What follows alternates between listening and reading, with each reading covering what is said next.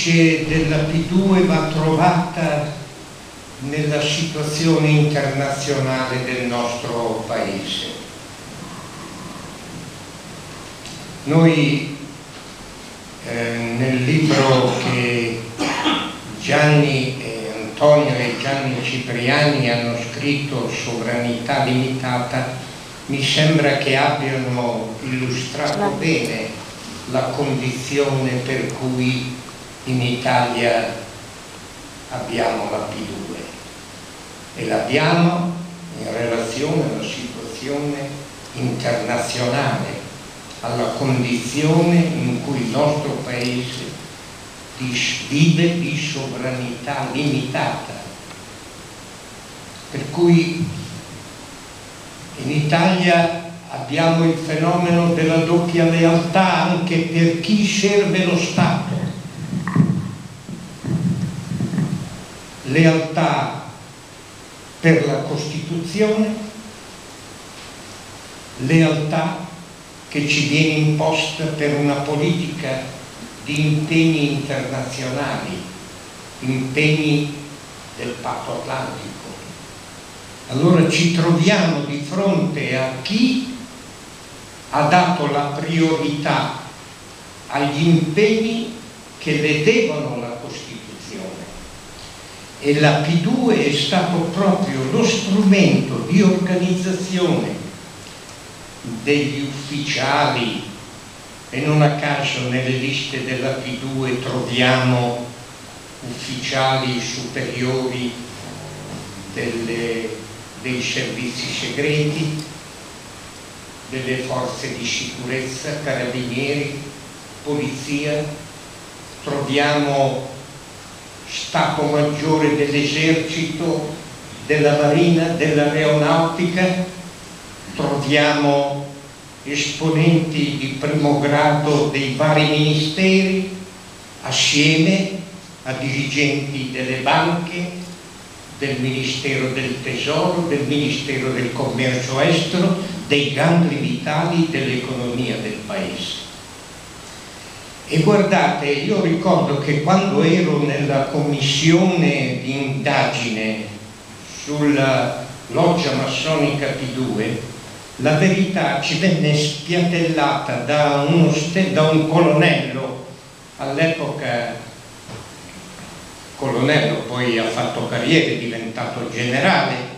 il generale Viviani, che è stato capo del controspionaggio, poiché era nelle liste della P2 venne anche lui interrogato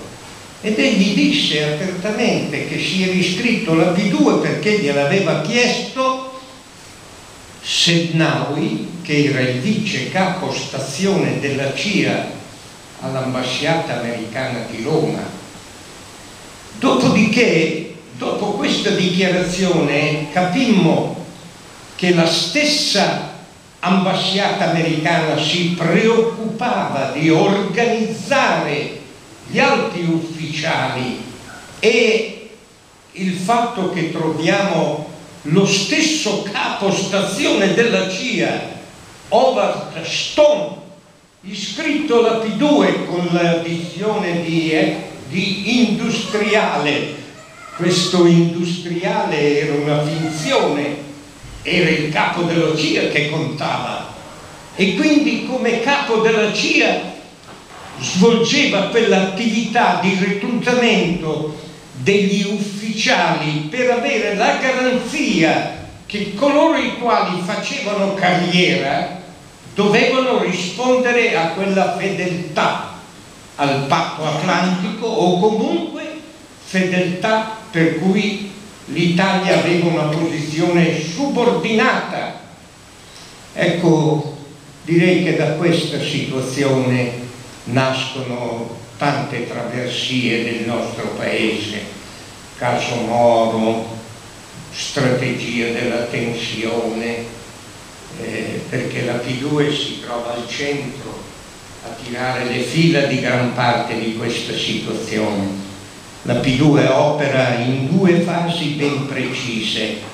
C'è una prima fase nella quale ricorre alle stragi E non è un caso che troviamo eh, noti bon, appartenenti alla destra estrema, troviamo ufficiali che hanno avuto parte nel golpe, prende il golpe borghese,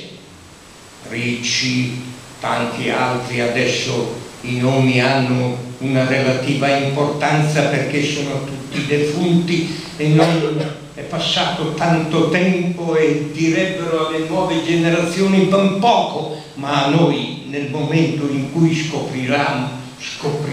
queste cose dicevano molto perché hanno partecipato a quel golpe hanno partecipato a un altro golpe, il golpe sogno di Edgardo Sogno. Ebbene, ci sono compiute stragi come la strage di Piazza Fontana,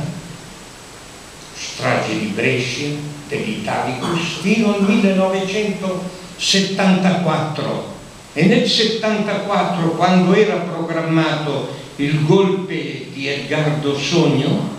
e Carlo Sogno l'ha scritto nel suo testamento che era in contatto con gli americani quando ordiva quella rete ed aveva ereditato i contatti con tutti coloro i quali avevano già partecipato al golpe borghese, quindi era quel tipo di organizzazione. Ebbene, quel tipo di organizzazione rispondeva a quello che era il programma di allora di guerra psicologica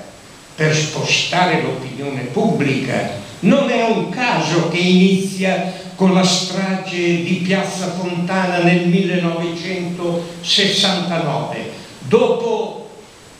il grande movimento degli studenti, delle donne, degli operai che colpiva la società, che colpiva il mondo culturale, che coinvolgeva la società civile. È lì quando diventa unità fra questi movimenti e la classe operaia, proprio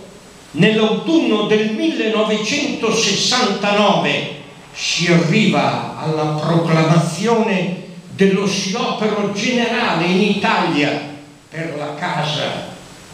ma vi partecipano anche gli studenti,